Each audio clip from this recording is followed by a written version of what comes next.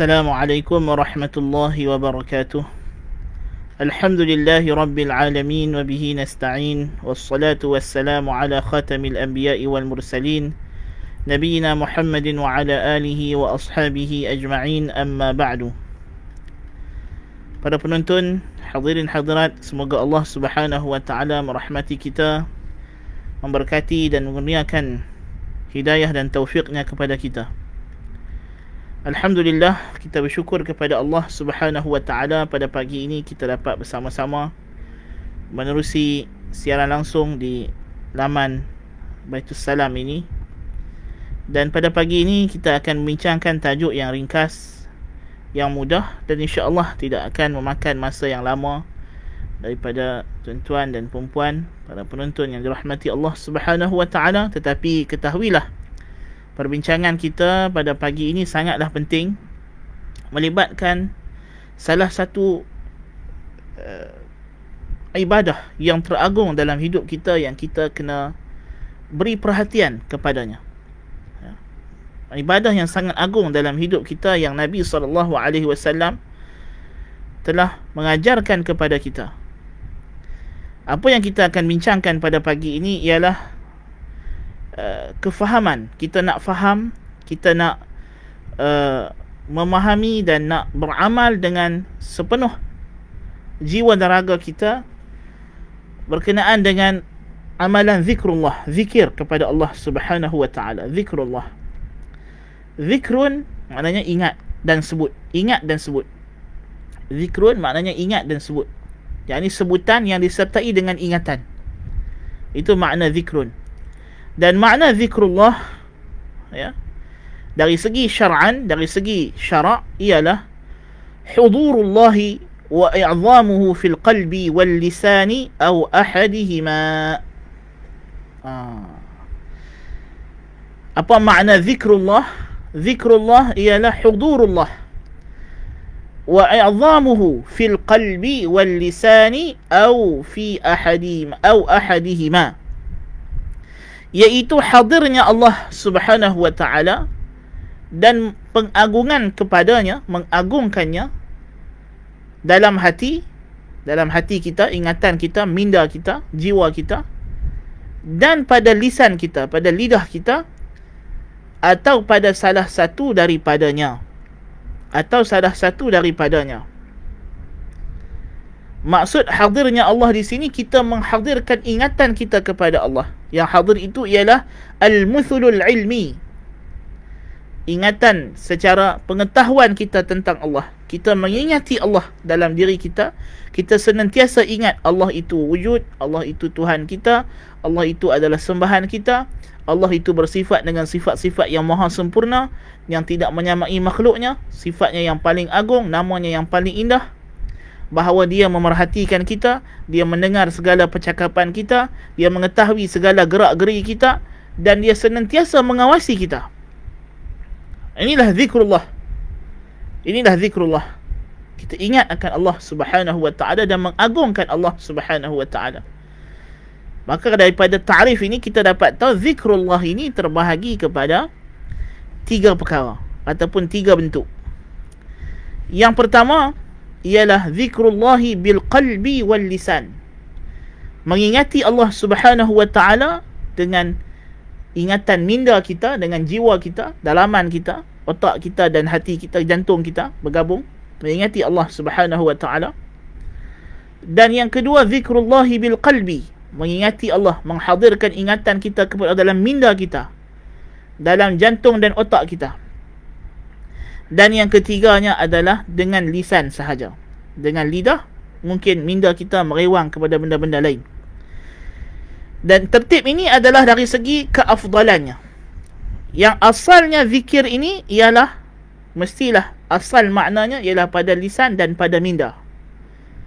Maksudnya kita kena ingat Allah pada lisan, dan ingat Allah juga dalam otak kita hadirkan Allah dalam jantung kita senantiasa ingat dan mengagungkan Allah sambil kita menyebut dengan lisan kita subhanallah walhamdulillah wala ilaha illallah wallahu akbar dan sebagai zikir yang kita akan bincangkan ya sambil kita menyebut dengan lisan kita juga ingat dan menghayati apa yang kita sebut tadi dalam diri kita dalam minda kita Dan yang keduanya dengan dengan hati, dengan jantung, dengan minda kita. Dengan qalb. Qalb ini sebenarnya kalau kita kata hati, hati ini liver. Tapi dimaksudkan dengan qalb ialah jantung, tempat di mana dipam ataupun qalb di sini ialah bahagian dalaman kita. Iaitulah ruh kita, itulah minda kita, jiwa kita. Ya. Mengingati Allah dengan jiwa kita, dengan ruh kita, dengan minda kita. Dan ini berlaku pada tempat-tempat yang kita tak mampu nak sebut dengan lisan seperti ketika kita dalam tandas atau kita dalam keadaan yang tidak membolehkan kita menyebut nama Allah dengan lisan. Ya pada tempat-tempat tertentu atau keadaan tertentu. Ya. So itu ada keadaannya. Tapi ini adalah atau dalam keadaan kita tak mampu nak sebut dengan lisan mungkin kita tengah driving kita tengah uh, berehat kita tengah bermesyuarat, bercak, bersembang dengan kawan. Tetapi, walaupun mulut kita mungkin tak sebut subhanallah, tak sebut nama Allah, dalam setiap keadaan kita, sepatutnya kita sentiasa kena hadir, kena ingat akan Allah bahawa Allah itu wujud, memerhatikan keadaan kita, mendengar apa yang kita cakap. Dengan itu, kita akan terpelihara anggota tubuh badan kita. Ha, maka terpeliharalah tubuh badan kita daripada melakukan maksiat pasal kita ingat Allah Ta'ala duk tengok Allah Ta'ala duk dengar apa kita cakap Allah tahu apa kita duk buat Masa kita walaupun mungkin lisan kita duk bersembang dengan kawan Tapi minda kita, jiwa kita duk zikrullah Duk ingat Allah. Yang ketiga Zikir kepada Allah dengan lisan sahaja. Yang ini akan mengurangkan Ini yang paling lemah. Yang paling lemah. Dan pahala Zikir sebenarnya akan berkurangan sekadar mana kurangnya kehadiran minda kita dalam mengingati Allah. Seperti mana Nabi wasallam bersabda dalam dalam hadis mafhumnya orang yang salat itu ada yang dapat ha, separuh, ada yang dapat satu per tiga sehinggalah satu per sembilan sahaja daripada salatnya. Dan ini kata para ulama bergantung kepada sejauh mana dia hadirkan jiwanya, khusyuknya dalam salat. Dan salat adalah min a'zami zikrillah adalah zikir kepada Allah yang paling agung. Sebab itulah Allah Taala berfirman aqimis salata li zikri. Dirikanlah salat untuk mengingatiku. Maka seperti mana pahala salat itu berkurangan? Apabila kita tidak hadir di dalamnya dengan minda kita dengan jiwa kita walaupun badan kita hadir dalamnya maka demikianlah zikir-zikir kita yang lain akan berkurangan. Sekadar mana minda kita terlewang, terabai daripada mengingati Allah Subhanahu wa taala. Ya. Dan zikir ini sebenarnya kenapa kita disuruh disuruh berzikir? Hakikatnya semua ibadat adalah zikrullah. Semua ibadat adalah zikrullah. Karena zikrullah adalah esensi ibadat. Tujuan kita beribadat adalah untuk mengingati Allah. Sebab itulah Allah Ta'ala sebut dalam firman kita macam dalam surah Taha tadi. Aqimus salata li zikri. Ha? Aqimus salata li zikri. Dirikan salat untuk mengingatiku. So salat adalah zikrullah.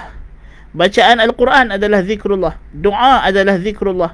Puasa adalah zikrullah. Semua ibadat secara asalnya adalah zikrullah. Ha, adalah zikrullah. Yani untuk mengingati Allah. Ha. Tujuannya adalah untuk mengingati Allah. Ya. Jadi Uh, sebab itu Allah Taala sebut dalam dalam surah Al-Jumu'ah sebagai misalnya ya ayyuhalladzina amanu idza nudiya lis-salati bi yaumil jumu'ati fas'au ila dzikrillahi wa dharul bai' Wahai orang yang beriman jika kamu diseru pada hari Jumaat untuk salat maka bersegeralah kamu untuk mengingati Allah.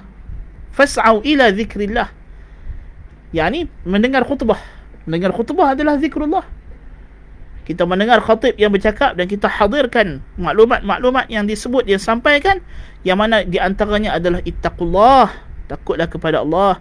Ingatkan kita tentang Allah, tentang hukum hakam Allah, tentang agama Allah. Ini adalah zikrullah.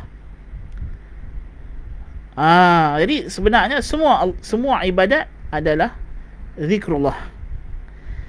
Dan di antara ibadat yang menjadi zikrullah ialah satu bentuk ibadat khusus So zikrullah secara umumnya dia adalah semua. Ibadat adalah zikrullah.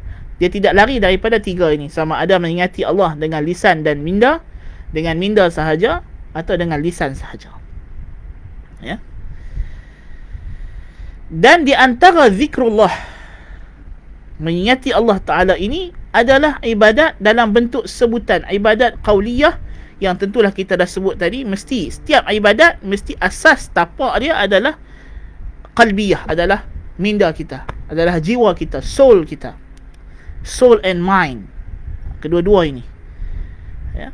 Mesti ada. Dalam semua ibadat mesti kedua-dua ni mesti kena hadir. Soul and mind ni kena hadir selalu. Jiwa dan minda kita sentiasa kena hadir dalam ibadat. Ini adalah rukun asasi ibadat. Daripada dalam dia terbit keluar. Ha, itu cara iman berfungsi dan apabila tidak ada luaran makna dalaman ada masalah.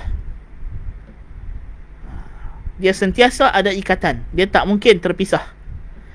Iman yang di dalam adalah penggerak kepada iman yang di luar. Kalau tidak kalau berkurangan iman di luar ini anggota tubuh badan kita ini kurang iman hakikatnya puncanya adalah kurangnya iman dalam hati itu sendiri. Jadi di antara bentuk ibadat yang disyariatkan kepada kita sebagai hamba Allah ialah kita menyebut Allah Ta'ala dengan lisan kita. Di samping kita menghadirkan mengingati Allah dalam minda dan jiwa kita. Dengan ucapan-ucapan khusus yang telah diajarkan oleh Nabi SAW kepada kita. Ini penting. Zikir adalah ibadah. Zikir adalah ibadah maka hakikatnya lafaz-lafaznya ta'abbudi. Sebab itu dia kita dalam ibadat lisan ni yang pertama yang paling tinggi adalah tilah tilawah. At-tilawah. Tilawah ialah baca al-Quran. Baca al-Quran ialah kita membaca kalam Tuhan itu sendiri. Kita membaca kalam Tuhan itu sendiri. So ini adalah zikir yang tertinggi. Sebab kita duk baca kalam dia percakapan dia tuturan dia ujaran dia jadi ini adalah tahap mengingati Allah yang tertinggi. Kemudian zikrullah, zikir yang kita fahami dengan makna zikir yang ucapan-ucapan tertentu yang disebut dengan lisan. Yang bukan daripada Al-Quranul Karim. Seperti tasbih, tahmid, tahlil, takbir, selawat kepada Nabi sallallahu alaihi wasallam. Ini adalah zikrullah dan dia datang martabat yang kedua lepas tilawah. Dan zikrullah lafaznya adalah tauqifi terhenti kepada nas. Ya? Dan kita bertaabud dengan lafaz. Sebab itu zikir tidak tidak tidak sah melainkan dengan bahasa yang ditetapkan. Itu dengan bahasa Arab. Ya kalau satu orang sebut maha suci Allah maha suci Allah tak jadi dia tak dapat pahala lisan itu walaupun mungkinlah dari segi minda dia dia ingat Allah Taala. Tapi zikir disyaratkan dia mesti ta'abud dengan lafaz itu. Subhanallah, alhamdulillah, Allahu akbar. Sebab itu kita kena perhatikan setiap lafaz yang akan datang nanti. Ana memang berhajat nak nak share apa nama? Uh, apa nama ni? Notes ni apa nama? Tapi yalah setting tak Ana tak tahu sebab apa setting tak boleh nak share dekat screen. Oleh kuliah hal Mungkin kita boleh letak dekat Ana akan letak dekat Ataupun Abu Talhah Ana akan bagi dekat dia Untuk dia letak dekat Page uh, Baitul Salam Link untuk download dan sebagainya. Ataupun kita mungkin boleh cari poster. Dan zikir pagi petang ni Bukanlah susah Untuk antum dapat ya. Banyak Antaranya kitab Husnul Muslim Kitab Fiqhul Ad'iyah wal Azkar Banyaklah kitab uh, Apa nama Iman Nawawi uh, Al-Azkar Sekarang ni dah banyak diterjemahkan Kitab-kitab zikir yang syar'i. Jadi zikir uh, Sama seperti Al-Quranul Karim. Al-Quran yang paling tinggi Sebab dia kalam Allah Al-Quran kalau kita baca Walaupun tak faham Maknanya Dapat pahala. Dapat pahala. Walaupun tergagak-gagak Dapat pahala. Sebab dia kalam Allah Dan dia ada hukum hakam yang lebih rumit mesti dah dalam keadaan tidak berhadas besar ya syaratnya mesti suci daripada hadas besar untuk baca al-Quran Hadas kecil tak syarat. Boleh kita baca Quran dalam keadaan kecil. Cuma kita tak boleh sentuh mushaf. Bila hadas kecil tak boleh sentuh mushaf. Tapi kita boleh baca ayat yang kita hafal. Kita baca Fatihah, kita baca Qul huwallah, Qul a'udzu birabbil falaq, Qul a'udzu birabbin nas. Kita baca ayat kursi bagi yang hafal surah yang mengulang juzuk Al-Quran, dia boleh baca, tak ada masalah. Adapun zikir tahmid, takbir, tahlil apa semua ni dia tidak disyaratkan dalam keadaan tertentu. Dia boleh dibaca dalam keadaan hadas besar, hadas kecil, wanita yang haid, lelaki yang junub, dia boleh berzikir. So dia lebih longgar daripada Al-Quran. Tetapi tidak boleh dibuat pada tempat-tempat yang kotor seperti dalam dalam tandas. Ya, ketika sedang qada hajat. Tak boleh lah. Ya. Tapi ingat dengan hati dengan minda, ha, itu masih berterusan berlaku. So dia kongsi dengan Al-Quran dari sudut Al-Quran tidak boleh dibaca tempat-tempat yang dilarang tadi tetapi zikir lebih luas. Dia boleh dibaca oleh orang yang junub, oleh orang yang hadas besar, orang yang haid, hadas kecil, semua boleh baca. Ya. Yang ketiga martabat ibadat qauliyah itu ialah doa. Doa. Ya. Doa ini permohonan. Kita minta kepada Allah Ta'ala. Dia adalah di antara yang dimaksudkan dengan doa di sini adalah doa masalah. Doa yang bentuk kita meminta hajat permohonan kepada Allah keperluan harian kita apa yang kita nak apa yang kita inginkan kepada Allah. Ya? Doa lebih luas daripada zikir. Kerana doa kita berta'abbud yang jadi ibadat ialah maknanya. Sebab tu kita boleh berdoa dalam bahasa apa pun Ya Allah ya Tuhanku selamatkanlah kami daripada mara bahaya berilah kami kesihatan kesejahteraan ya Allah boleh cakap bahasa Melayu, bahasa Inggeris. Yang kita masukkan doa ni doa doa oleh masalah. Ha. Doa permohonan. Kerana zikir juga doa tapi dia doa doa usana, doa puji-pujian. Ya. So doa yang umum kita boleh doa minta dengan bahasa apa pun, dengan gaya bahasa apa pun, dengan bahasa Arab, dengan bahasa Melayu, bahasa India, bahasa Tamil, bahasa Inggeris, bahasa Portugis, bahasa Spanyol, bahasa uh, Yahudi, bahasa Hebrew. Ha?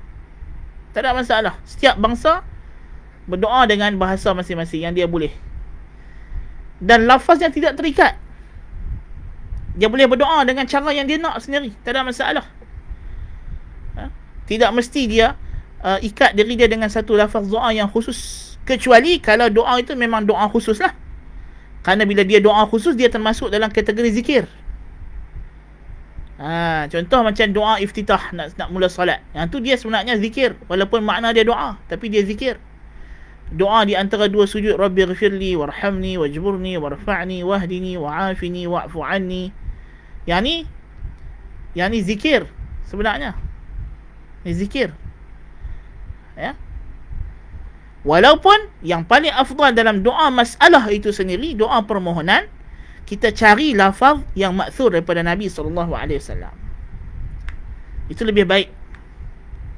Kita nak minta supaya Allah Ta'ala berikan kita ketetapan dalam melakukan ibadah. Kita boleh minta, Ya Allah, Ya Tuhanku, kau jadikanlah aku ni orang yang istiqamah, senantiasa taat kepadamu, Ya Allah. Atau kita boleh guna lafaz Nabi. Allahumma a'inni ala zikrika wa syukrika wa husni ibadatik.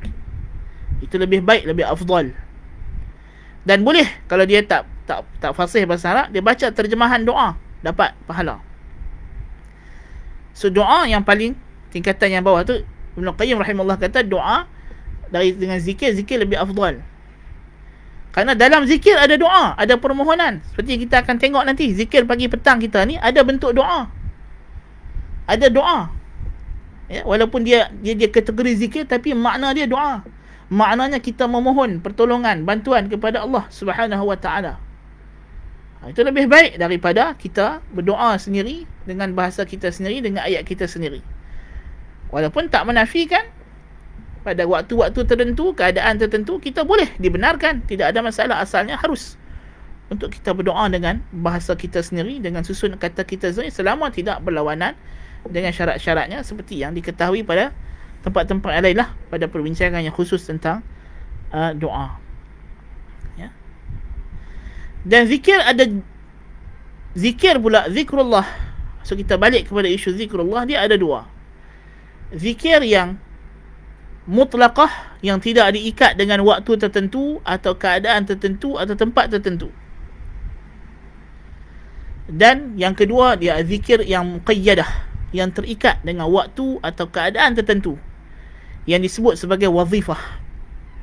Ha, ataupun dipanggil al-azkarul muwazzafah. Yang para ulama gunakan istilah wazifah, tugas. Yang mana dia adalah tugas kita sebagai orang Islam, sebagai mukmin untuk berzikir. Ya. So ada zikir yang khusus dengan keadaan tertentu. Zikir nak tidur, doa tidur. Bismillahirrahmanirrahim amutu wa ahya. Bangkit tidur alhamdulillahilladzi ahyana ba'dama amatana wa ilaihi nusyur. Nak makan bismillah. Dah sudah makan alhamdulillah. Ya. Ini zikir yang khusus yang ada keadaan tertentu nak keluar rumah Allahumma inni a'udzubika an adilla aw udalla aw azilla aw uzalla aw azlim aw uzlam aw ajhil aw yujhal alayya. Nak masuk rumah ada zikir. Ya, nak masuk tandas, keluar tandas. Nak melakukan hubungan suami isteri, ada zikir. Yang mana dia bentuk doa, tapi dia zikir khas. Ya. Ada zikir yang digalakkan untuk kita baca sentiasa. Bila-bila waktu lapang kita boleh baca. Seperti selawat ke atas Nabi sallallahu alaihi wasallam. Seperti kita baca subhanallah bihamdi subhanallahil azim. Nabi sallallahu alaihi wasallam kata kalimatani habibatani ila ar-rahman thaqilatani fil mizan khafifatani ala al-lisan. Subhanallah bihamdih Subhanallahil azim. Hadis yang terakhir dalam sahih Al-Bukhari. Nabi SAW kata Dua kalimah yang sangat dicintai oleh Ar-Rahman. Sangat berat ganjaran pahalanya dalam timbangan. Sangat berat timbangannya di atas mizan nanti di akhirat. Dan ringan pada lisan untuk disebut. Subhanallah bihamdih Subhanallahil azim dua zikir ni kita sebut berserentak pada bila-bila masa. Tidak ada masalah. Ingat.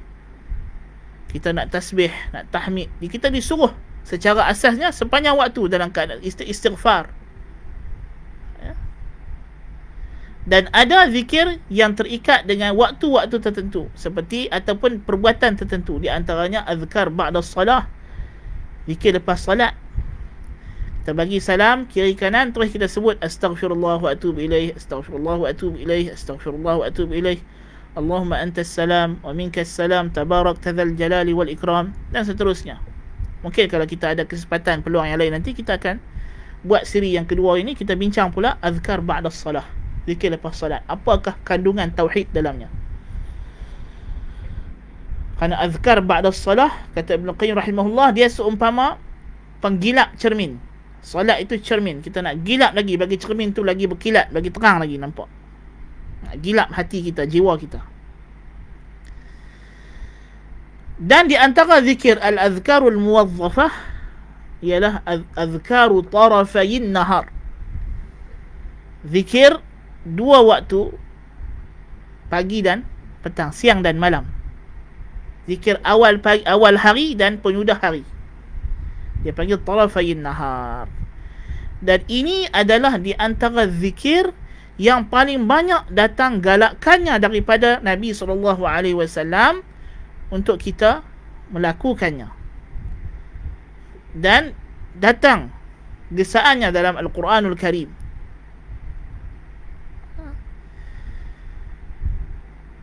Sebab itulah kebanyak apa nama ulama-ulama yang mengarang kitab zikir contoh macam Ibn Qayyim rahimahullah dalam Al-Wabil Al-Sayyib Syekhuna Dr. Abdul Razak Hafizahullah Dia start Masuk kepada Al-Azkarul Muwazzafah Dia akan mulakan dengan Azkarul Tarafayin Nahar Dan ini adalah wazifah Ini adalah tugas kita sebagai Muslim Sebagai mukmin kepada Allah Subhanahu Wa Taala.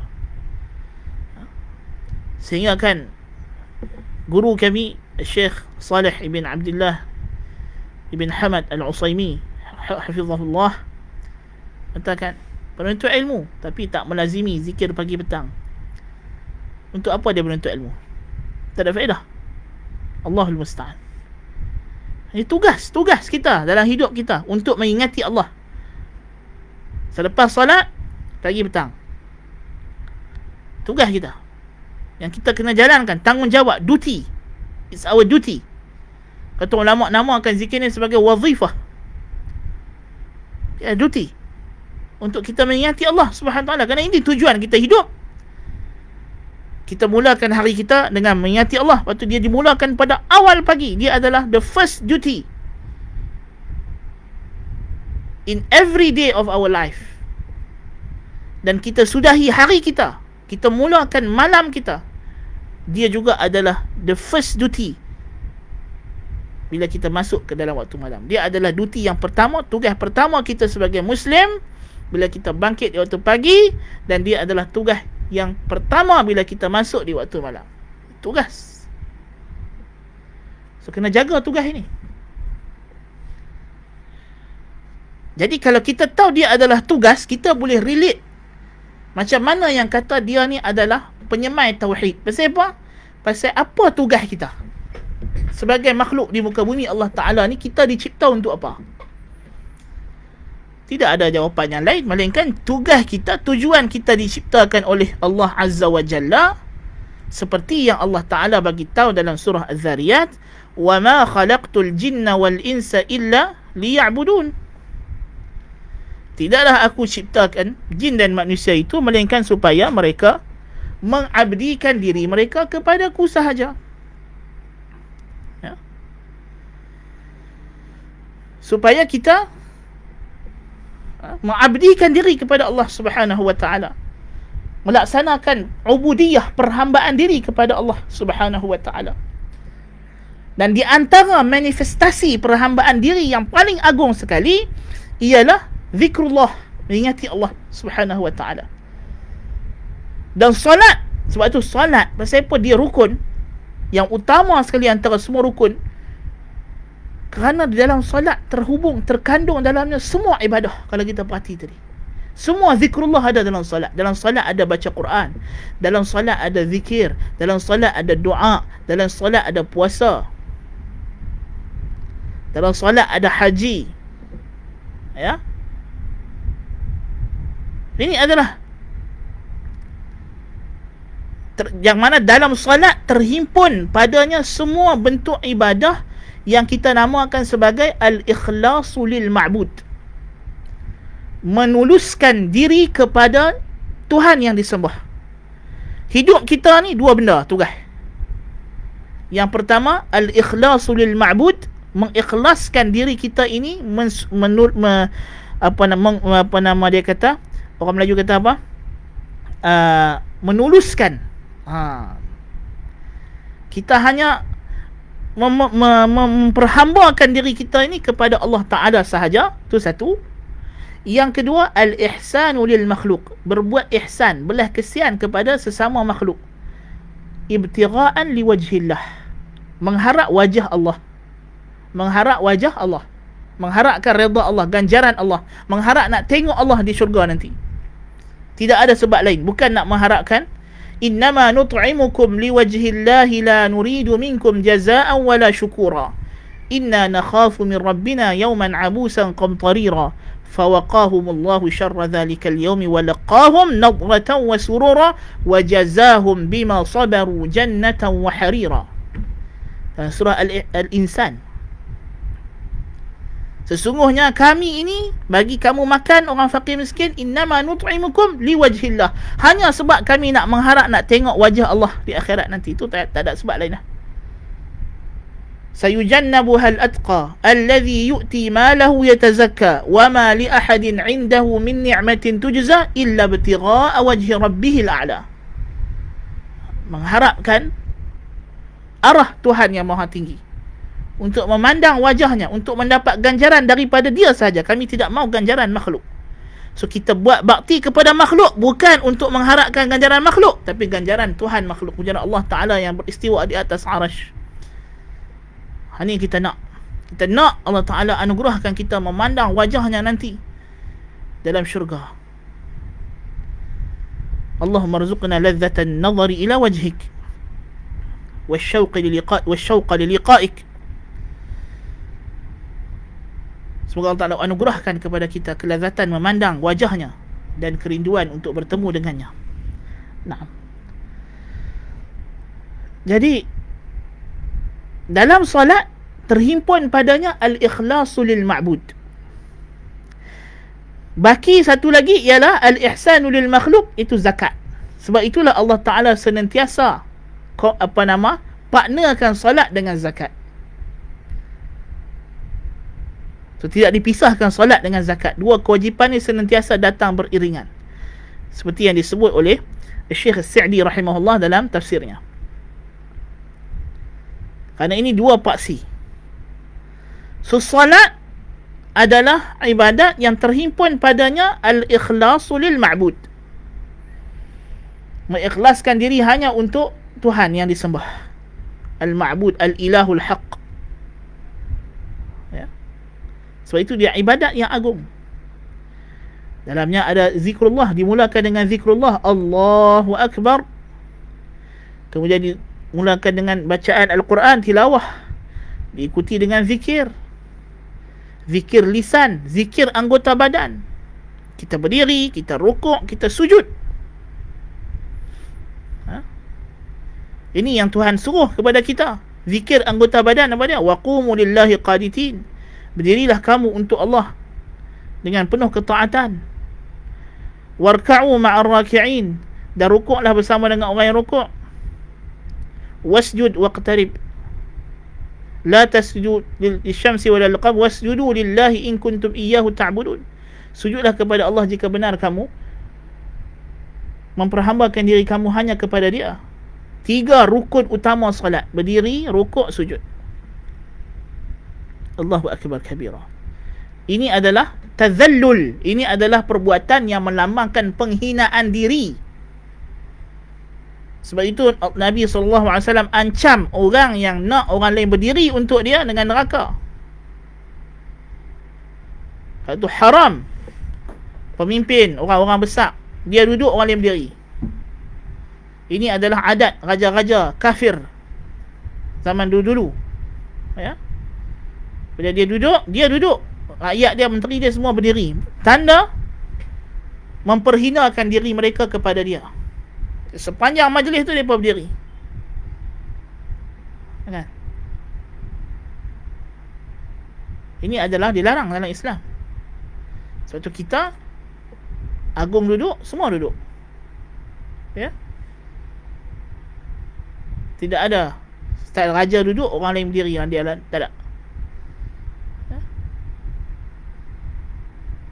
Jadi bahkan kalau kita tengok di Saudi, raja dia dengan ulama dengan menteri semua duduk sebaris kursi kursi keliling. Dia tak ada macam raja duduk atas singgah sana tak ada. Ha. Allahu akbar kabira. Ya. Jadi berdiri ini berdiri dalam solat adalah ibadah. Rukuk kata kita haram tunduk kepada makhluk sampai had rukuk kerana rukuk sendiri termasuk dalam hukum sujud. Di antara ketegasan para ulama dalam masalah ni anda ingat dalam kisah eh, apa nama Buya Hamka dia cerita dalam buku dia kenang-kenangan hidup. Ya, masa zaman Jepun. Ya masa zaman Jepun Jepun datang. Jadi Jepun kan dia suruh kita pagi-pagi kena tunduk dekat matahari terbit ke arah negeri Jepun. Tunduk hormat maharaja dia. Secara ghaib tunduk itu tunduk hak rukuk. Ini adalah syirik. Jadi ulama semua macam mana nak buat? Hamka kata kita tak boleh. Kita tak boleh. Tunduk ini tak boleh. Haram. Ini syirik.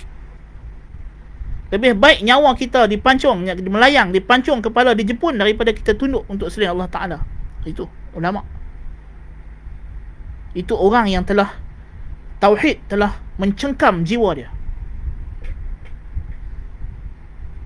So dia kata tak apa saya pergi cakap dekat apa tu Jepun punya tentera lah. Kalau kena pancung pun tak apa dia kata lebih kita mati kena pancung daripada kita buat syirik. Allahu akbar kabira ini ulama ulama rabbani ya maka Nabi cakap dekat Jepun Alhamdulillah tak nak bagi bantuan. Jepun terima. Jepun kata tak apalah tak payah tak payah rukuk ha, tunduk hormat saja. Hormat maksudnya hormat kepada bendera atau negeri negeri Jepun lah. Ya? jadi tunduk hormat sebagai tanda hormat. Yalah, walaupun kita tak nak hormat tapi itu akhaf dararan. Ringanlah mudarat dia jadi berjaya dia berjaya selamatkan umat Islam di tempat dia masa itu. Anda lupa masa tu Hamka jadi ketua Muhammadiyah di rasanya di kawasan Aceh. Masa itu. Jadi dia tempat dia tu dia berjaya selamatkan masyarakat di kawasan dia tu daripada buat benda yang haram. Alhamdulillah. Rukuk. Sujud, sujud lebih lagi lah. Sujud ni memang hanya untuk Allah Ta'ala saja. Orang musyrikin, Abu Lahab, Abu Jahal, tak pernah sujud dekat berhala dia. Ha. Tak pernah sujud dekat berhala dia. Mereka tak pernah sembah berhala mereka dengan cara sujud. Pasal apa? Pasal dia tahu berhala makhluk. Allahu Akbar Kabira. Tiba-tiba kita tengok hari ni orang sufi kuburiyah sujud dekat. Na'udzubillah min zalik. Pergi di Madinah sujud dekat kubah hijau. Allahul musta'an. Na'udzubillah min zalik. Ni ta'abud kita kepada Allah Taala. Itu zikir dalam dalam salat ada semua benda ni. Ada selawat kepada Nabi sallallahu wasallam. Ya. Ada tasyahud perisytiharan tauhid kepada kepada Allah Subhanahu wa taala. So sebab itulah Allah Ta'ala kata Aqimus salata li zikri Dirikanlah salat untuk mengingatiku. Nah. Balik kepada Cerita zikir kita ni Pagi petang ni. Nah. Nah, Mukadimah panjang sangat kan? Tak ada habis. Baik. Jadi selain daripada Salat Ya kita di, di, di, ditugaskan oleh Allah Ta'ala untuk iqamat tauhid untuk menegakkan tauhid untuk menyemai tauhid dalam diri kita. Ialah dengan zikir. Dengan zikir. Ha? sebab itulah solat walaupun dalam solat itu penuh dengan zikir ucapan pertama yang kita kena sebut selepas kita bagi assalamualaikum warahmatullahi assalamualaikum warahmatullahi astaghfirullah. Aku mohon ampun kepada Allah. Istighfar. Dan disusuli dengan zikir lagi Kerana zikir ini adalah tugasan kita, adalah nafas seorang mukmin. Ha itu. Jiwa, zikir ini bagi jiwa seperti kata sebagai ulama, mungkin Ibn Qayyim yang sebut adalah seperti air bagi ikan. Ikan kalau cabut keluar daripada air, matilah. Jadi jiwa mukmin kalaulah dia kekeringan zikir zikrullah, ya dia akan lama kelamaan dia akan mati. Kita lah ni kalut semua orang cek oksigen. Kan? Sat-sat cek oksigen. Pasal apa? Takut covid. Kan? Tapi ada kita cek bekalan oksigen untuk rohani kita. Tu oksigen untuk jasad. Sedangkan tubuh badan kita ni dia ada dua bahagian. Jantung dia ada jantung. Fungsi fizikal dia ialah mengepam darah. Dia ambil oksigen daripada paru-paru dia pam darah. Dia hantar darah oksigen ke otak. Lalu otak pun boleh sense benda. Menerima maklumat daripada sense. Itu fungsi fizikal untuk jasad. Tetapi jantung juga ada fungsi yang berbentuk kerohanian. Maknawi. Iaitulah dia mengepam iradah kehendak tubuh badan kita. Ya. Dan dia mengepam kehendak itu ke otak. Mata melihat telinga mendengar tangan menyentuh. Apa yang dilihat? Ayat Allah. Mendengar apa? Ayat Allah. Kalau itu yang dilihat dan didengar maka zikrullah akan masuk dan menjalar ke dalam jiwa kita dan tauhid akan mencengkam diri kita. Akan menjadi darah daging kita. Ya. Sebab itulah seorang mukmin hidupnya dengan zikrullah. Dan zikrullah ini kalau kita beribadat kepada Allah Subhanahu wa taala dengan azkarun nabawiyah zikir-zikir kenabian kita akan mencapai maqam tauhid maqam iyyaka na'budu wa iyyaka nasta'in. Ini yang kita nak. Iyyaka na'budu wa iyyaka nasta'in. Sebab itulah orang yang mengaku kata dia ahli zikir dia yang telah mencapai maqam fana maqam tauhid. Tapi dia konon-kononnya tersasul. Dia ingat alam ni semua adalah Allah. Yang dia nampak tengok lampu nampak Allah. Tengok diri nampak Allah. Tengok pokok ini bohong. Ini bohong ahli zikir yang fana dalam zikir kalau zikirnya itu azkarun nabawiyah zikir penuh dengan mengisbatkan tauhid. Apa makna subhanallah? Subhanallah yang aku mensucikan Allah daripada segala aib daripada segala penyerupaan dengan makhluk adalah satu pembohongan apabila satu orang duk sebut subhanallah subhanallah tiba-tiba konon-kononnya dia fana dia syuhud. Dia menyaksikan keleburan makhluk.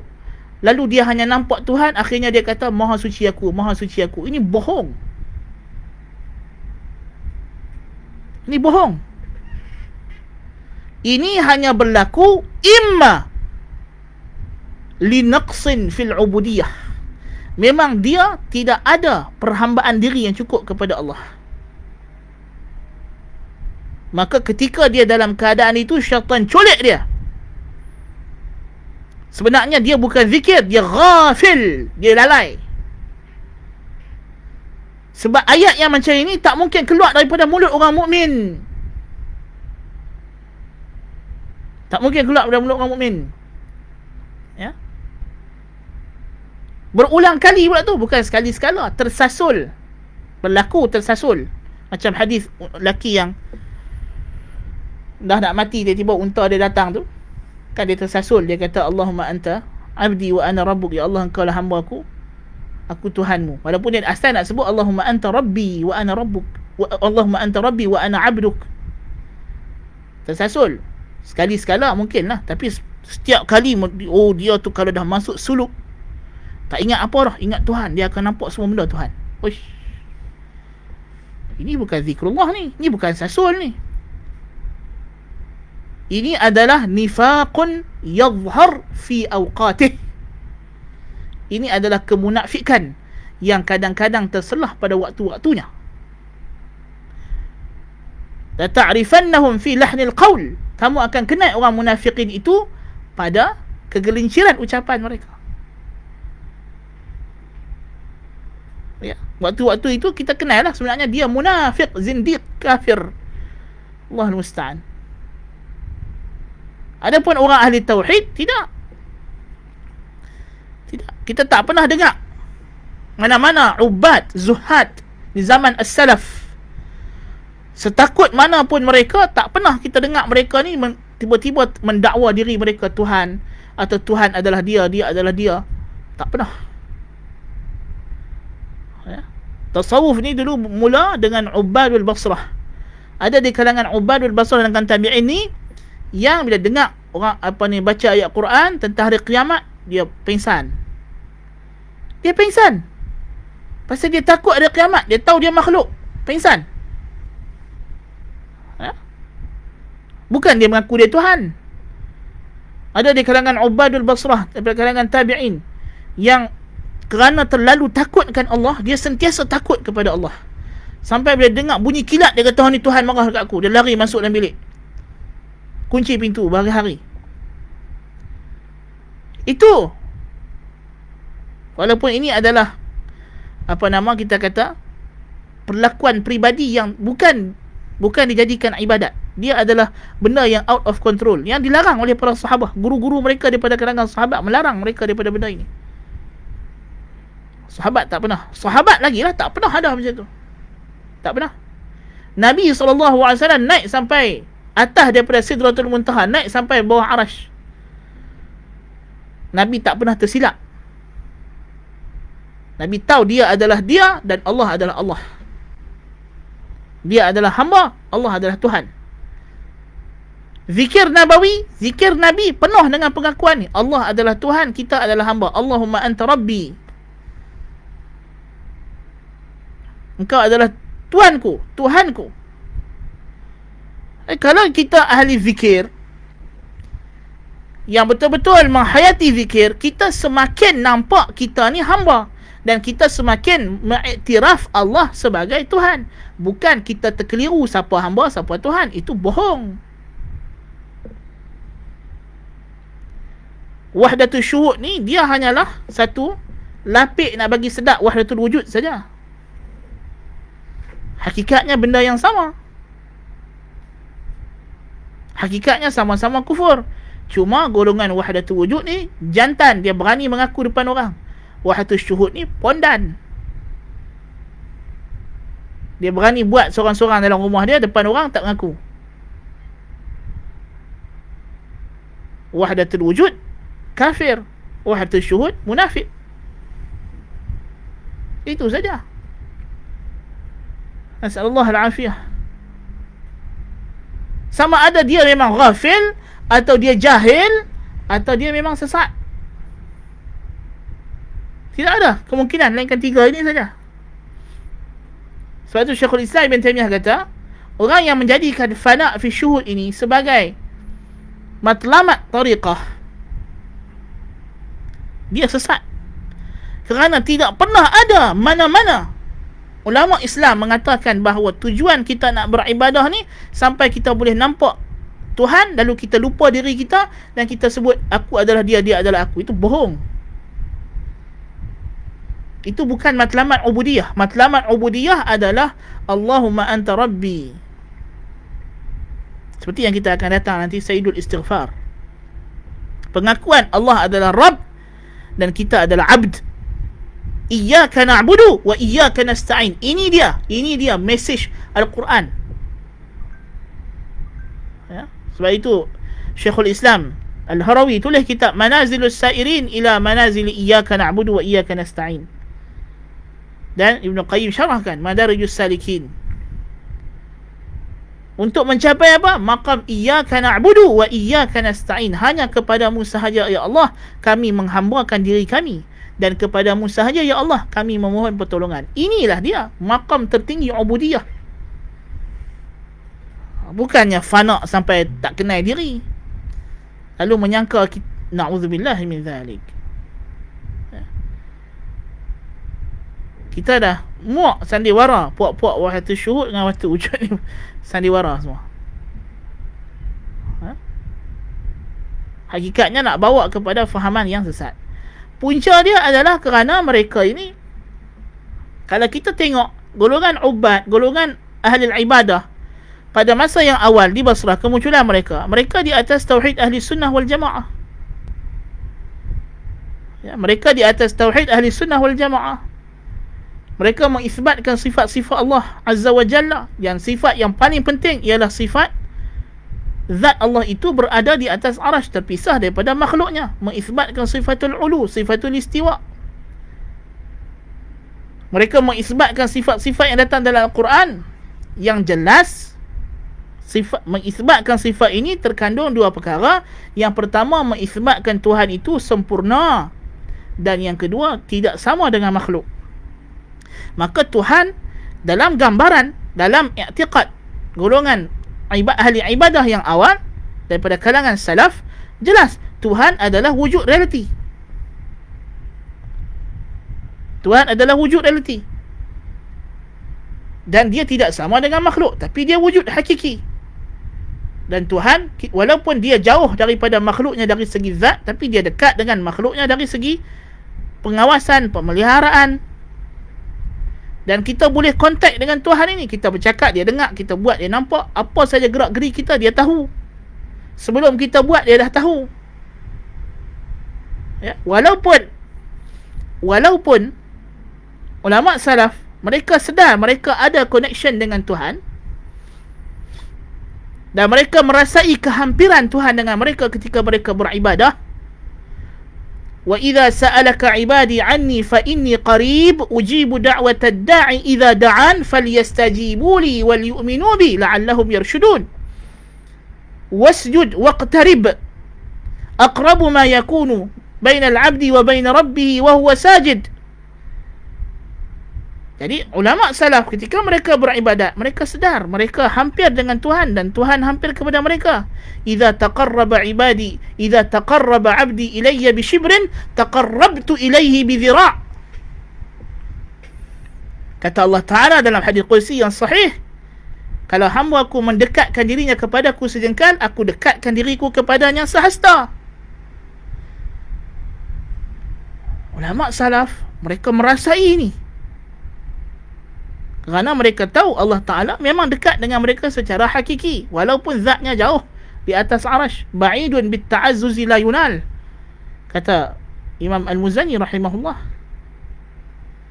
Allah Ta'ala itu adalah aliyun fi dunuwihi qaribun fi uluwih dia maha tinggi dalam keadaan dia dekat dengan hambanya dan dia dekat dengan hambanya dalam keadaan dia tinggi di atas arasnya. Tidak ada kontradiksi bagi mereka dua benda ini. Jadi mereka tak terkeliru. Mereka tak pernah keliru. Siapa hamba, siapa Tuhan. Mereka tahu. Sebab zikir-zikir yang mereka baca, mereka faham maknanya. Mereka istihdar. Dalam hati mereka. Zikir yang kita duk baca ni. Subhanallah. Alhamdulillah. Allahu Akbar. La ilaha illallah. Ini semua mengisbatkan perbezaan dua wujud wujud Tuhan dan wujud makhluk adalah dua wujud hakiki yang berbeza. Sebab itu Imam Ahmad berhujah dengan golongan Jahmiyah. Imam kata, adakah kamu mengaku bahawa dia mengampunkan dosa antara kamu dengan dia fima bainaka wa bainah? Hal tuqirru bi annahu yaghfiru fima bainaka wa bainahu? Adakah kamu mengaku yang dia mengampunkan dosa antara kamu dengan dia? Kalau kamu kata ya, dan memang orang mukmin kena kata ya Imam Ahmad kata. Kalau kamu kata tak, kufur. Jelas kufur. Kalau kamu kata ada, ya, maknanya kamu isbat baina baina, ada perantara aku dengan dia. Dia dengan aku. Ini adalah paksi ibadah. Ibadah dibina di atas distinction between the creator and the creation. Perbezaan di antara pencipta dengan yang dicipta. Di antara ma'bud dengan abid di antara Rabb dengan Marbub, di antara Khaliq dengan makhluk. Ini baru betul ibadah. Adapun ibadah yang konon-kononnya ahli ibadah yang hebat ni bila mereka dah terlalu asyik mereka jadi syukur, jadi mabuk. Sejak bila mabuk menjadi ibadat? Dalam Islam, la taqrabus la taqrabus salata wa antum sukara hatta ta'lamu ma taqulun. Jangan kamu hampirkan diri kamu dengan solat ketika kamu mabuk sehinggalah kamu sedap kamu tahu apa yang kamu cakap. See? Tiba-tiba datang puak-puak sufi wahdatul wujud wahdatul syuhud kata oh ulama-ulama kami ni masa depa ibadat depa mabuk depa tak sedap apa depa cakap. Kita kata Tuhan tak suruh hang solat ketika hang tak sedap. Nabi SAW tengok seorang uh, sahabiah gantung tali. Dia buat apa tali? Kata ni malam kalau aku solat, gayut. Nabi kata kalau kamu rajin, kamu solat. Kalau kamu tak rajin, gantung pergi rehat. Boleh jadi kamu sangka kamu duk minta doa untuk kamu tapi rupanya kamu minta laknat untuk diri kamu. Minta kecelakaan untuk diri kamu. Kita tak disuruh ibadat dalam keadaan otak tak hadir. Orang yang tak ada akal, bukan mukallaf. Tak ada pahala tak ada dosa. Itu habis-habis ringan keadaan dia. Tapi kalau dia yang buat diri dia jadi macam itu dia berdosa. Orang mabuk bukan sebab dia yang minum arak dia tak berdosa. Tapi dia juga tak ada pahala. Macam orang gila. Orang orang kita pelik. Oh pasal apa dia wali? Pasal dia tu orang gila orang terencak akal jadi Tuhan sayang. Mana ada Memanglah dia tak ada dosa tapi dia tak ada pahala. Dia bukan mukallaf. Di akhirat esok dia akan diuji lain oleh Allah Taala. Boleh jadi ahli syurga, boleh jadi ahli neraka. Dia akan ada ujian baru di akhirat daripada mahsyar nanti. Ini kita tengok orang terencak akal dan Tuhan sayang ni mana hantar? Suka hati ya. Tengok budak mati tak dan balik urus ni anak syurga mana hantar? Di akhirat esok depa ni semua akan diuji lain. Kerana Allah lebih tahu mereka ni kalau diberi akal apa yang dia akan buat. Konsep kita banyak banyak salah, banyak keliru, tahu tak? Dalam masyarakat. Banyak keliru. Ya. Jadi orang yang konon-kononnya mampu tak sedap, lepas tu dia duk ibadat cakap merapu aku Tuhan apa semua ni, Siapa suruh dia pergi ibadat dalam keadaan macam tu? Tak ada. Dalam Islam tak ada konsep macam tu. Islam hanya syarat untuk ibadat, untuk sah ibadat ialah akal. Kalau hang kata hang cakap benda-benda kufur ni kadang hang hilang akal, mana hang bukan ahli ibadat? Hang orang gila masuk tanjur rebutan lah. Duk main masjid apa? Duk pergi berzikir apa? Pergi dapat kerawatan ambil ubat. Allahul Musta'an. Jadi ini banyak orang dia tak sedap benda-benda yang macam ni. Ya. Baik. So, jadi kita nak tahu bahawa sebenarnya kalau kita beramal dengan zikir-zikir Nabi SAW, sebenarnya zikir ini menyemai tauhid. Menyemai untuk kita mengesahkan Allah, yakni kita mengaku kita ni hamba, Allah adalah Tuhan kita. Itulah yang dibawa oleh zikir Nabi SAW. Ada pun puak-puak wahatu wujud tu syuk ni pun berzikir dengan zikir yang tak syar'i. Berzikir hu ah. Ya? Tak apa-apa zikir mengarut-ngarut. Sebab itu jadi mengarut. Dan lebih lagi Wahdatul syuhud Wahdatul wujud ini Hanya muncul setelah mana golongan tasawuf ini Adalah daripada golongan ahli kalam Yang mereka ni menafikan sifat-sifat Allah. Yang paling utama sifat yang mereka nafi Ialah sifatul ulu sebab tu kalau kita tengok tokoh-tokoh kullabiyah yang awal yang mengisbatkan sifatul ulu Muhammad ibn Khafir Shirazi Ibnu Mujahid ya yang semua anak murid Abu Hasan Syari mereka ni ahli sufi tapi mereka tak pernah dia ada diceritakan mereka ni. Cakap aku Tuhan ke apa? Tak ada. Pasal pasal mereka masih mengiktiraf Allah di atas arash tetapi bila start zaman Al-Qushari dan kebelakangan ah dah start datang i'tiqad merapu-merapu dalam kalangan mutasawifah. Pasal apa? Pasal akidah mereka sudah akidah lain. Mereka dah tak percaya Tuhan di atas arash. Mereka menafikan sifat-sifat zatiyah Allah. Dan Tuhan yang mereka percaya itu Tuhan yang tak mungkin akal yang waras boleh terima Tuhan ni ada wujud yang realiti, wujud hakiki. Kemudian dalam akidah Asy'ariyah pula bagi depa perbuatan dalam alam ni adalah kasab. Apabila api membakar, yang membakar bukan api tapi Allah. Bila air membasahkan, bukan air yang membasahkan tapi Allah. Yang mereka namakan sebagai Tauhidul Af'al. Mentauhid ke Allah pada perbuatan. Tidak ada yang membuat la fa'ila illallah. Tidak ada yang membuat dalam wujud ini kecuali Allah. Atau la mu'athir. Yang tidak memberi tidak ada yang memberi kesan kecuali Allah. Tetapi iskalnya bila depa kata macam itu, depa kata tidak ada yang memberi kesan dalam alam ni kecuali Allah. Tapi dalam masa yang sama mereka menafikan af'alullah. Bagi mereka al-fi'lu huwal maf'ul. Maksud Allah Taala membuat ialah perbuatan itu sendiri. Objek yang dibuat. Makna Allah mencipta langit ialah wujudnya langit itu sendiri, adalah langit itu sendiri. Tidak ada pada zat Tuhan yang dinamakan sifat fi'liyah al-qa'imah bi sifat fi'liyah di sisi mereka hanyalah amrun i'tibari hanyalah sangkaan akal. Kita tengok benda ni ada kemudian kita tahu bahawa ada seseorang yang mampu melakukan perkara tersebut di tempat tersebut. Maka akal hukum dialah yang punca benda ni wujud. Hakikatnya tidak ada perbuatan realiti hakiki yang dilakukan oleh si pembuat tadi. Seumpama macam satu orang dia ada kita boleh menulis. Saya boleh menulis. Diberikan kepada saya kertas pen di depan saya ada saya ada. Bila saya ada pen dengan kertas ada tiba-tiba tulisan wujud. Tanpa perlu saya menggerakkan apa-apa diri saya ini untuk menulis. Bagi mereka Tuhan tidak ada harakah tidak ada pergerakan. Berdasarkan apa yang telah dinyatakan oleh Aristotle Allah Ta'ala adalah Al-Muharrikul Awalul Ladhi La Yataharrak. Penggerak pertama yang tidak bergerak so bagi mereka alam ini tidak ada pergerakan Tuhan tidak mencipta dengan harakah dengan pergerakan dengan perbuatan yang hakiki mereka tak percaya Tuhan ada perbuatan yang berulang-ulang yang hakiki. Ha, jadi kalau orang kata apa maksud Tuhan mencipta langit? Maknanya langit itu sendiri wujud. Tetapi dia tidak wujud dengan sendiri, wujud dengan kesan kudrah qadimah. Kesan kudrah yang yang esa, kudrah yang muathirah.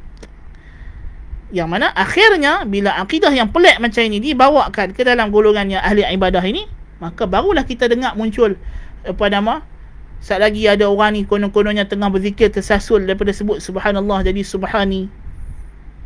Konon-kononnya bila orang ketuk pintu tanya siapa dalam rumah, tidak ada dalam rumah melainkan Allah. Ah.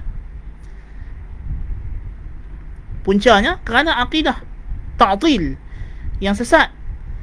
Sebab itulah kata Syekhul Islam, ya, Mu'attilah ini. Dari golongan apa nama uh, akademik mereka, ahli ilmu mereka mu'attilah. Ya.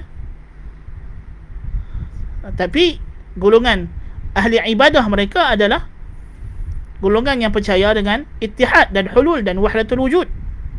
Kesatuan Tuhan dengan makhluk. Sebab itu Ibn Taymiyah namakan golongan wahdatul wujud sebagai ubadul jahmiyah golongan jahmiyah ahli ibadat ahli ibadat jahmiyah. Kerana asas kepercayaan mereka ini muncul kerana akidah mereka yang salah. At the first stage munculnya kepercayaan yang macam ini dalam kalangan ahli sufi disebabkan mereka ni masih dari golongan ulama. Mereka sedar bahawa Tuhan itu wujud. Tapi mereka tak sedar kelaziman akidah mereka yang membawa kepada wahdatul wujud. So mereka kata ini sebenarnya perkara yang kami sebut ni perkara yang di luar daripada sedar tapi mereka tak sedar luar sedar yang mereka sebut itu berpunca daripada akidah sesat yang tersemai dalam diri mereka. Itu yang menyebabkan mereka tersasul. Itu yang menyebabkan terpacul kalimah-kalimah kufur ni pada lisan mereka walaupun mereka tak sengaja. Ya? Sebab mereka tidak ada sempadan yang nak kawal diri mereka daripada tersebut kalimah kufur ini ketika mereka menyaksikan ketika kuatnya warid datang daripada Allah Ta'ala ketika mereka sedang beribadat itu mereka tak ada sempadan untuk menghalang daripada diculik oleh syaitan Akhirnya mereka diculik oleh syaitan. Lalu mereka menyangka mereka ahli fana. Orang yang makam tinggi. Tidak. Mereka ghafil. Mereka lalai. Tapi kemudiannya bila datang golongan ahli falsafah pula. Ibn Arabi dan and the gang. Ha, terus. Mengaku kata Tuhan itu memang alam ini. Allahul Musta'an. Jadi punca dia kenapa? Pertama akidah yang tak sahihah. Bila akidah tak sahihah, bila dia baca zikir zikir mengisbatkan akidah yang sahih akidah sahih yang berlawanan dengan akidah ilmu kalam berlawanan dengan akidah ahli falsafah so dia tak boleh nak masuk dia tak boleh masuk sebab zikir ni kita ucapkan dalam keadaan kita mengaku mereka baca Al-Quran mereka pandai lah mereka takwil dan sebagainya sebab Quran ialah kalam Allah pun boleh takwil. Tapi bila mereka berzikir, dalam zikir ni ada sifat-sifat Allah yang mereka dah nafikan. Yang mereka kata sifat ni mustahil. Tapi zikir mereka ucap sebagai pengakuan mereka. So di sini berlaku kontradik yang sangat dahsyat antara lisan mereka dengan minda mereka yang dah sesat. Nak ikut yang mana satu? Fitrah di sini akan bergejolak, akan berlaga dengan akidah yang tak betul itu nak iktiraf Allah Ta'ala memang di atas arash memang dengar betul-betul memang melihat sungguh-sungguh. Memang dengar apa yang aku cakap ni sungguh ke?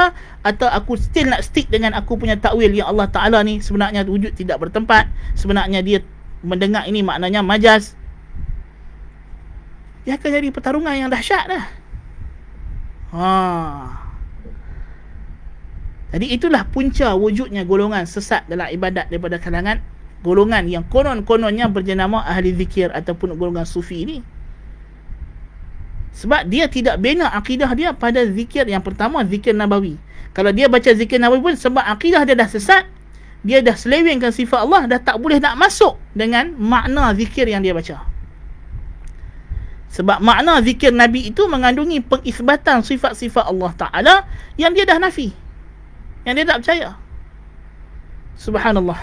Jadi itu yang punca kepada kesesatan itu di antaranya lah. Bismillah.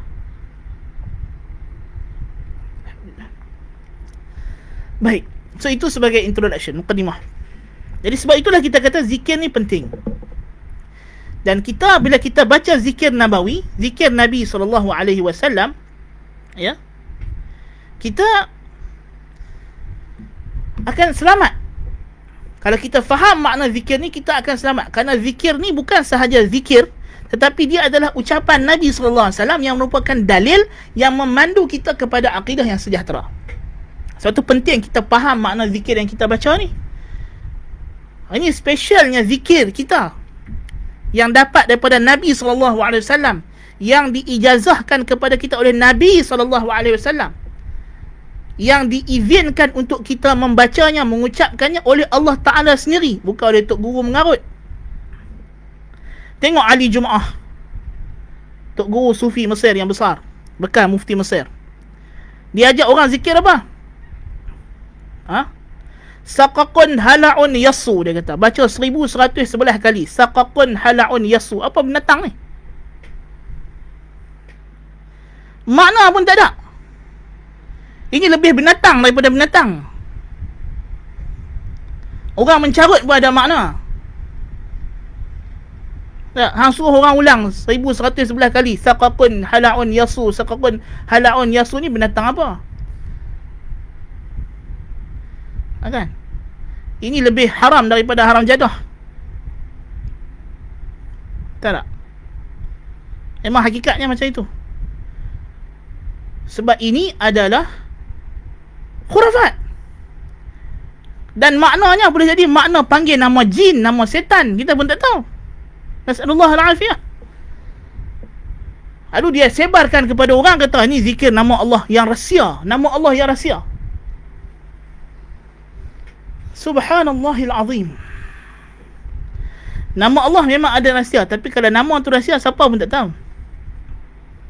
Dan kita tak disuruh berzikir dengan nama Allah yang dirahsiakan. Kita disuruh berzikir dengan nama Allah yang Allah Taala kata walillahil asmaul husna fad'uuhu biha. Wa dharu alladhina yulhiduna fi asma'ih sayujzauna ma kanu ya'malun. Allah Taala bagi tahu dah. Bagi Allah nama-nama yang maha indah. Ada 99 nama kita mati dulu pun tak sempat nak baca semua nama Tuhan ni. Ya.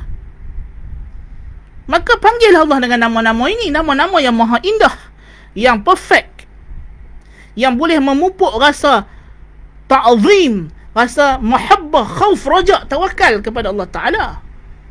Dan tinggalkan golongan yang menyimpang dalam namanya macam Ali Jumaah ni. Tak. Macam hari Jumaah ni lah. Yulhiduna fi asma'ih. Menyimpang dalam agama dalam nama-nama Allah. Sayujzauna ma kanu ya'malun. Kalau dia tidak bertaubat, ya, Allah telah ancam dia. Nauzubillah min zalik. Semoga Allah Taala bagi dia hidayah dan taufik dan segera kembali bertaubat kepada jalan kebenaran. Dan kita juga semoga dimatikan di atas kebenaran dan diampunkan dosa-dosa kita. Allahumma amin. Amin ya Allah. Ala kulli hal, sebab itu pentingnya zikir yang diikat dengan lafaz nabawi. Lepas kita kata tadi zikir, zikir lafaznya ta'abbudi. Lafaznya diikat. Mesti datang daripada nas Nabi sallallahu alaihi wasallam. Ha, jadi kalau itu zikir yang kita amalkan, yang kita baca, maka ia akan ter, terpupuk, ia akan tersemai dalam jiwa kita ialah mengagungkan Allah, membesarkan Allah mentauhidkan Allah dan mengiktiraf kita ini hamba Allah. Kita ini makhluk Allah dan Allah adalah khaliq. Bukan sebaliknya. Ah, itu point dia. Baiklah. Di antara zikir yang muwazzafah ialah azkarus sabah wal masa. Zikir pagi dan petang. As-sabah ini adalah waktu pagi. Para ulama ada banyak pendapat dalam mentahdidkan bila waktu yang mula kata zikir pagi ini. Ha, ada ada khilaf, banyak khilaf. Tetapi zikir pagi boleh kata kurang khilafnya sebab zikir pagi boleh kata hampir kebanyakan ulama setuju dia adalah dengan terbitnya fajar. Ha, ini masuk waktu subuh. Dan pendapat kebanyakan mengatakan dia berakhir dengan terbitnya matahari. Ini ha, waktu syuruk. So waktu dia antara masuk waktu subuh sampai waktu syuruk tak mesti kita solat subuh dulu. Kalau kita duduk di masjid masalahnya antara iqamah, nak tunggu orang iqamah, kita baca zikir ni. Dapat pahala. Itu dah masuk waktu dia. Sebenarnya dah masuk waktu dia. Bukan syarat dia mesti lepas solat. Sebab lepas solat ada zikir khusus. Tetapi yang afdalnya kalau kita baca setelah zikir lepas solat kita baca setelah zikir lepas salat sebab datang hadis yang sahih dalam sahih Muslim Nabi SAW dia salat subuh dia akan duduk di tempat salat dia sampai terbit matahari. Nabi berzikir waktu itu. Itu adalah waktu yang kita disuruh untuk imarahkan dengan zikir. Kemudian masuk waktu duha kita salat duha. Itulah dia. Cara yang terbaik. Ya riwayat At-Tirmizi dan Ibnu Majah daripada Uthman radhiyallahu an anna Nabi sallallahu alaihi wasallam yaqul qal ma min ahadin yaqulu sabaha kulli yawmin wa masaa kulli laylatin bismillahi alladhi la yadurru ma'a ismihi shay al-hadis akan datang hadisnya nanti di antara dalil waktu ini ialah hadis yang dikeluarkan oleh Tirmizi dan Ibnu Majah hadis di antara hadis zikir waktu pagi petang La yadurru ma'a ismihi syai'un fil ardi wala fis sama'i was samiul alim. Nabi kata tidak ada seseorang yang membaca pada waktu menyebut pada waktu pagi setiap hari dan waktu masak setiap malam. Masak setiap malam. Dan akan datang makna zikir nanti insya-Allah. Jadi ini adalah dalil bahawa waktu zikir pagi itu ialah waktu sabah, waktu pagi yang bermula dengan terbitnya fajar kedua, waktu waktu subuh. Ha? Kerana orang Arab telah menjadi adat mereka tidak memanggil sabah itu melainkan dengan masuknya fajar kedua. Itulah waktu subuh. Dan waktu fajar subuh inilah yang banyak berlaku padanya hukum hakam dan dia adalah awal waktu seorang muslim masuk ke dalam ibadah dengan melaksanakan solat subuh. Aqimus salata liduluki syamsi ila ghasaqil layli wa Qur'an al-fajr. Inna Qur'an al-fajr kana mashhuda. Sebab itulah salat puasa dimulakan dengan waktu ini. Waktu fajar thani. Okey. Maka zikir pagi ini dia berlaku daripada terbitnya fajar thani ha? Maknanya maksudnya waktu subuh sehinggalah terbitnya matahari. Terbitnya matahari sebab apa? Dia adalah perubahan yang pertama yang berlaku pada cahaya pagi tersebut. Ya? Ha, sebab apa? Bila terbit fajar fajar itu akan terus terbit. Tanpa ada sebarang perubahan sampailah matahari menampakkan cakranya. Bila matahari keluar cakra dia berubah cahaya dia saja lagu lain. So ini perubahan yang pertama berlaku pada pagi tersebut. So dengan itu habis waktu zikir pagi. Dan kita masih ada waktu ada zikir-zikir lain pula lagi yang kita boleh amalkan sepanjang hari tersebut. Masuk waktu duha itulah dia waktu untuk kita mengingati Allah. Waktu salat duha pula ya.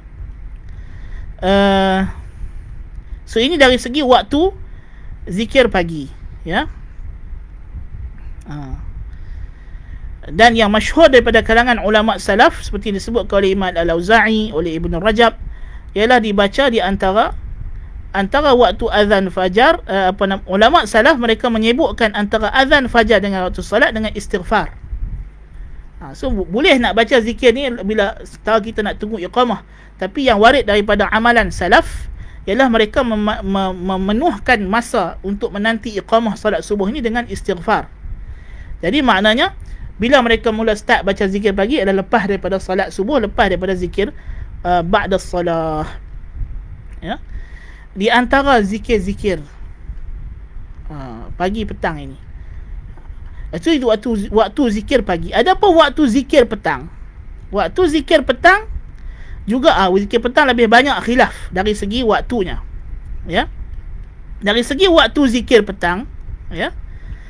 Uh, ada yang mentahdidkan majoriti ulama berpendapat dia lepas daripada waktu asar. Ini banyak cakap macam itulah. Dan mereka ada dalil-dalil daripada ayat Al-Quran. Ha? Sebab Allah kata bertasbihlah kepada Tuhanmu. Ha? Apa nama? Qabla tulu'i syamsi wa qabla al-ghurub. Sebelum terbitnya matahari dan sebelum terbenam matahari. Walaupun tafsir yang lain mengatakan ini maksudnya adalah solat. Solat subuh dan solat asar. Ya? Bukan makna zikir itu sendiri. So ada ulama macam Ibn Qayyim apa semua kebanyakan ulama yang mengarang dalam waktu zikir pagi petang mereka memandangkan waktu zikir petang ialah selepas solat asar sehinggalah terbenam matahari. Maksudnya maghrib tu habis waktu zikir petang. Tetapi kita ada uh, pandangan yang anda pilih di sini adalah pandangan Syekh Saleh Al-Utsaimin hafizahullah guru kami. Dia mentarjihkan waktu zikir petang sebenarnya adalah bermula dengan maghrib. Bermula dengan maghrib. Dia sebenarnya waktu maghrib. Ini habis dan waktu yang afdalnya ialah selepas solat maghrib. Berdalilkan hadis yang kita baca tadi, ma min ahadin yaqulu sabaha kulli yawmin wa masaa kulli lailah. Nabi sebut tidak ada orang yang baca pada setiap pagi hari dan petang malam tersebut. Petang malam sebab kalimah al-masa masa merujuk kepada sampai daripada terbenam matahari daripada petang sampai terbenam matahari. Uh, sampai masuk waktu isyak afwan. Terbenamnya uh, syafaqul ahmar. So ini adalah waktu masak. Kerana al masak adalah sebahagian daripada malam. Sebab nabi sebut wa masaa kulli lailah dan masak waktu masak daripada setiap malam. Maksudnya masak itu adalah nama bagi waktu malam bukan nama daripada waktu siang. Dia adalah juzuk awal daripada waktu malam. Iaitulah terbenamnya matahari sampai terbenamnya syafaqul ahmar iaitulah masuknya waktu isyak maghrib sampai isyak. Ini hadis hasan riwayat Tirmizi dan Ibnu Majah. Dan juga hadis dalam Bukhari hadis apa nama hadis Sayyidul Istighfar man qalaha idza asbaha famata min yawmihi siapa yang sebut Sayyidul Istighfar ini pada waktu pagi lalu dia mati akan diampunkan dosanya yang dia lakukan pada. Dan wa man qalaha idza amsa famata min lailatihi dan siapa yang baca zikir ini sayyidul istighfar pada waktu masak lalu dia mati pada malam tersebut menunjukkan zikir itu dibaca pada waktu malam. Uh, waktu malam uh, kan dan datang lafaz sarih dalam hadis dalam lafaz zikir waktu pagi waktu petang ini ialah amsayna wa amsal mulku lillahi walhamdulillahi la ilaha illallah ila Allah wahdahu la syarika lah. Allahumma inni as'aluka khaira ma fi hadhihi lailah khaira ma fi hadhihi lailah kita minta kebaikan pada malam ini. Wa a'udzu bika min syarri ma fi hadhihi lailah syarri ma ba'daha dan aku minta lindung kepadamu daripada kejahatan yang berlaku pada malam ini dan apa yang berlaku selepasnya. Ha, so datang lafaz Lailah dalam zikir Al-Masa. So sebab itulah uh, guru kami Syekh Al-Usaimi memilih waktu zikir petang itu ialah selepas ghurub, selepas terbenam matahari yang ni masuk waktu maghrib. Dan yang afdalnya ialah selepas pada zikir ba'da salatil maghrib. Inilah yang dipegang oleh sejumlah ulama di antaranya Ibnul Jazari rahimahullahu taala dan ikhtiar syekhuna Salih Al-Usaimi hafizahullah. Ala kulli hal, siapa yang nak ambil waktu lain? Bahkan anda tengok di antara pendapat yang paling luas dalam masa ini ialah pendapat Ibn Uthaymin. Ibn Uthaymin bagi dia zikir lepas zikir masak ini masak bermula dengan al-ashi. Al-ashi bagi dia adalah tergelincir matahari zuhur. Ha, itu antara pendapat yang luas sebenarnya. Jadi benda ni adalah keluasan ada keluasan dari segi ijtihad para ulama dia bukanlah benda yang kita nak sekat orang uh, maksudnya masing-masing boleh pilih pendapat yang dia rasa sesuai uh, akan ambil pendapat uh, yang masyhur yang masyhur ialah lepas asar so itu dari segi waktu. Dari segi waktu zikir pagi dan petang. Ada lafaz-lafaz zikir ni kebanyakannya berkongsi. Kebanyakannya berkongsi ya. Lafaz cuma ada zikir yang ditukar sejumlah perkataan supaya sesuai dengan waktu. So kebanyakan zikir pagi dengan petang lafaznya sama. Ha, tetapi ada zikir yang kemudiannya ditukar beberapa perkataan untuk menyesuaikan waktu pagi dengan petang. Antara zikir pagi petang ini ialah yang pertama sekali yang kita nak sebut ialah Sayyidul Istighfar iaitu lafaznya Allahumma anta rabbi la ilaha illa anta khalaqtani wa ana abduka wa ana ala ahdika wa wa'dika mastatat ma sana'tu abu'u laka bi ni'matika 'alayya wa abu'u bi dhanbi faghfir li fa innahu la yaghfiru dhunuba illa anta. Dibaca sekali. Ha, dia baca sekali sahaja ya dan jumlah zikir pagi ini yang seperti yang ditarjihkan oleh guru kami Syekh Al-Saimi ialah 13 zikir semuanya dari segi riwayat dan dirayah. Dan zikir Sayyidul Istighfar ini adalah sabit daripada hadis Shaddad ibn Aus radhiyallahu an dalam Sahih Al-Bukhari dan dinamakan dengan Sayyidul Istighfar. Ya. Yang mana fadilatnya sangat besar ya. Di mana jikalau seseorang baca pada waktu pagi lalu dia mati pada hari tersebut diampunkan dosanya pada hari tersebut dan siapa yang baca pada waktu petang waktu malam diampunkan dosanya pada waktu malam tersebut ha, ini ini adalah Sayyidul Istighfar sebab itu dinamakan sebagai Sayyidul Istighfar ha. disebut sebagai Sayyidul Istighfar dan Sayyidul Istighfar ni pasal apa? Apa yang menyebabkan dia Sayyidul Istighfar? Kenapa dia adalah penghulu segala istighfar? Apa yang menjadikan dia penghulu segala istighfar? Kerana dalam lafaz zikir apa Sayyidul Istighfar ini terkandung padanya pengakuan ubudiyah yang tinggi kepada Allah Taala. Kita mengaku jelas kita ni hamba Allah dan kita mengiktiraf Allah sebagai Tuhan. Kita di sini kita mengiktiraf di sana ada a real distinction between creator and creation ada ada pembeza yang jelas di antara Tuhan yang mencipta dengan makhluk yang dicipta. Hamba yang dicipta. Baina ma'budin khaliq wa baina abidin makhluk. Ha, jelas ada beza. Apa dia? Allahumma. Dia mulakan dengan panggilan Allahumma. Allahumma maknanya ya Allah. Anta kamu rabbi adalah pemelihara aku penjaga aku pencipta aku La ilaha illa anta. Tidak ada yang berhak disembah kecuali kamu. Khalaqtani wa ana abduka. Engkau telah menciptaku, maka aku adalah hambamu. Disebabkan engkau cipta aku, aku adalah hambamu. So dalam Sayyidul Istighfar ini dimulakan dengan pengakuan bagi rububiyah Allah bahawa Allah adalah Rabbun Khaliq. Bahawa dia adalah Tuhan yang mencipta yang memelihara, yang menjaga, yang memiliki alam ini. So di sini isbat apa? Isbatur rububiyah. Kemudian dijadikan daripada itu isbatul ilahiyah, mengisbatkan keesaan Tuhan dalam hak untuk disembah. Dia kata khalaqtani wa ana 'abduka. Anta rabbi la ilaha illa anta. Kamu Tuhanku, maka tidak ada yang boleh disembah melainkan kamu sahaja ya Allah kamu cipta aku maka kamulah. Maka aku aku adalah hambamu. Sebab kamu cipta aku aku adalah hambamu. So kita ada distinction. Tuhan yang di atas yang mencipta yang disembah. Kita yang di bawah hamba yang dicipta. Wa ana ala ahdika wa wa'dika mastata'tu. Dan aku berpegang dengan janjiku denganmu sehabis mampuku. Ha, di sini kata para ulama apa dia ahdun? Apa dia kontrak antara kita dengan Allah Taala yang dimaksudkan dalam Sayyidul Istighfar ini? Apa kontrak? Bila kita kata wa ana ala ahdika wa wa'dika mastata'tu. Mastata'tu ay aqsa istita'ati. Aku berpegang dengan perjanjianku denganmu ya Allah. Sehabis mampuku sehabis tenagaku sehabis dayaku maknanya habis kudrat aku akan guna untuk pastikan aku sentiasa di atas janjiku denganmu. Apa dia janji kita dengan Allah? Iaitulah iyyaka na'budu wa iyyaka nasta'in. Hanya kepadamu sahaja ya Allah. Aku kami mengabdikan diri kami memperhambakan diri kepadamu sahaja ya Allah kami memohon pertolongan. Ini dia janji kita dengan Allah. Yang Allah Taala kata bila kita sebut baca Fatihah dalam salat, Tuhan jawab balik, "Hadza baini wa baina 'abdi." Ini perjanjian antara ku dengan hamba-Ku.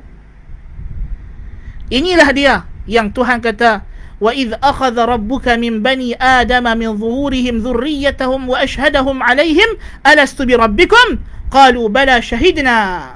Ini dia perjanjian kita jadi dalam sayyidul istighfar yang kita kena baca pagi dan petang kita dah janji dengan Allah Azza wa Jalla akan menjadi hamba Allah sampai bila-bila. Sehabis daya kita, kita akan terus menjadi hamba dia. Kut celah mana tiba-tiba ada orang main habak, kita kalau ikut tarikat ni, kita ibadat, kita akan capai makam yang tinggi di sisi Allah sampai kita nampak semua benda adalah Allah. Ni kut celah mana? Ini bukan ajaran Nabi Muhammad sallallahu alaihi wasallam. Ini ajaran Buddha, Gautama Buddha. Ini ajaran Brahmin Hindu. Ya?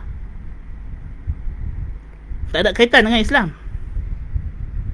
Tak ada kaitan dengan Islam. Jadi ini kalau nak yang macam ini, ini cari Sami Buddha dengan Sami Hindu. Tak ada kaitan dengan Islam. Ya? Al-Quran, sunnah, ini dia. Allahumma anta rabbi la ilaha illa anta khalaqtani wa ana abduka wa ana ala ahdika wa wa'dika mastata'tu. Ya. Ini baru betul. Ha. Jadi kita berusaha untuk berjalan naik kepada maqam ubudiyah. Sehabis tenaga, kita akan curahkan semua tenaga kita. A'udzu bika min syarri ma sana'tu. Aku berlindung kepadamu ya Allah daripada segala keburukan yang aku buat.